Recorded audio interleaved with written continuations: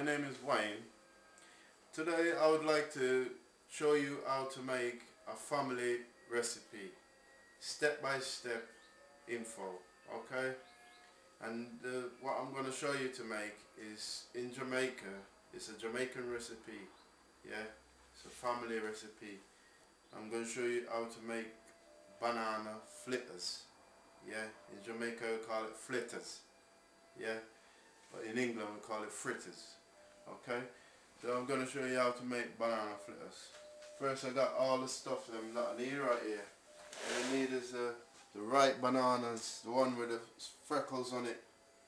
Proper ripe ones. You know what I mean? Proper ripe ones.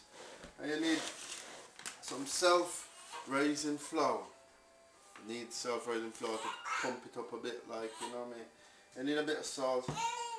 And not to forget the all-time nutmeg. You're gonna need a nutmeg.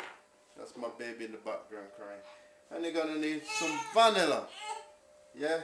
And we're gonna combine all of these things together. This is all we need. And not to mention we gotta fry it up. Yeah, get the pot on and stuff. Get the oil hot. But I'm gonna show you what you need. Just get the banana out the bowl. This is the bowl. Yeah just step by step so if you want to replay just replay. Get the bowl wash it out. I like washing my stuff. Make sure everything is clean. Yeah. I'm just using a bit of water. I don't want to use no soap because the bowl is not dirty eh? so what do I do? I get all the bananas and I peel them. Peel them gently. Doesn't matter if they're saggy saggy or like you know saggy like this. Doesn't matter because everything's gonna be used. Yep. Sometimes you can dash with the, the ones that too saggy like this one. It's too saggy. It's not good. But like this banana flit is very tasty and it's healthy. It's very healthy. I my grandma grew me up on this. And you know I mean? When I was little I used to love banana fritters. When I finished school I say oh I'm going to grandma. Get some banana fritters. She used to make a living out of this. And now I'm sharing it with you folks out there. It's very tasty. Very nice. Just peel all the bananas I'm going to show you step by step, no camera trick or anything. Yeah? Show you step by step.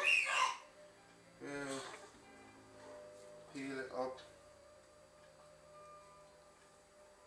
And then just leave that bit there. And then add a bit flour. Add the self-raising flour like that. Just about, I don't really need a measurement, but like, if you need a measurement, just about a cup, a cup of flour, full cup of flour, yeah. Little pinch of salt.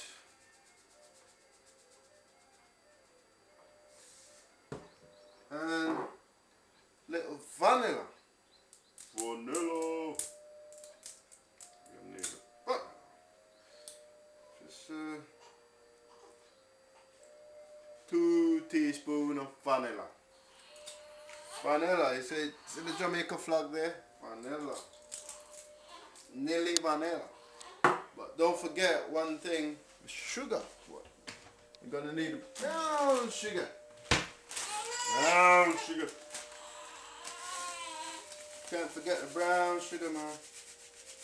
Brown sugar, you're gonna need about roughly about two a cup of brown sugar yeah? Exactly a cup of brown sugar. Yeah? And then I need nutmeg. Grated nutmeg in there to prevent diarrhea.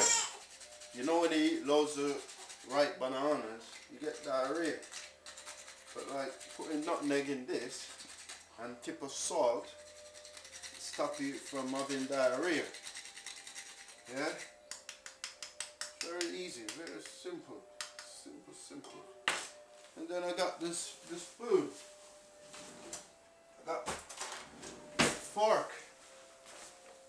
Then I go like this. Come over here, cameraman. And then I beat it up like this. See that? I use a fork. Some people might use something else, but I like the fork. And you stir it up. Stir it up. Stir it up. Everything together. Everything. Get it right in there. Till it turn into a right nice dough.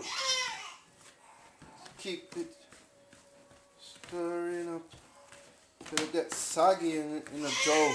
Look at that. Look at that. Beat stuff, beat. Wow. Look at that. Look at that, man. It's turning into a dough. Yeah. Right, dough.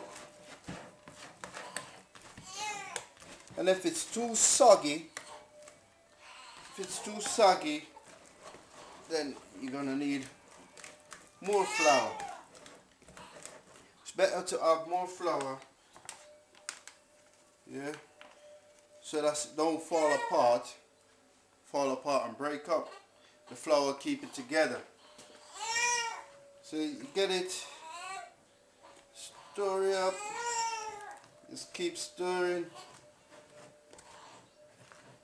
My little boy in the background, man. Stirring, stirring. Oh yeah, stirring up.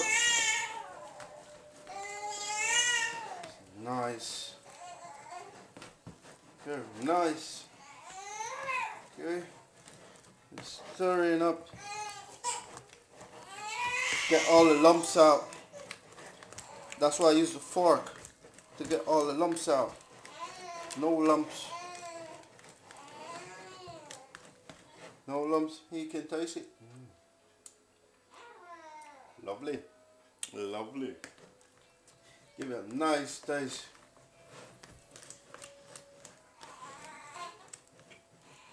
Mm hmm Oh yeah. That's lovely. You stir it up and then leave it to simmer for a while. Leave it to simmer for a while. Yeah, just cover it, put plastic over it or something. Just anything to cover. Just leave it to simmer for a while, let everything soak in. Let it simmer and then you put the pot on to hot. Make sure the pot is very hot. I'll show you that in a bit. But just leave it to simmer and then you, you just start doing it. My little boy's crying. I'll get back to you in a bit. I'll show you the other bit. Yeah? I'll show you the other bit when this finished simmer. Cut.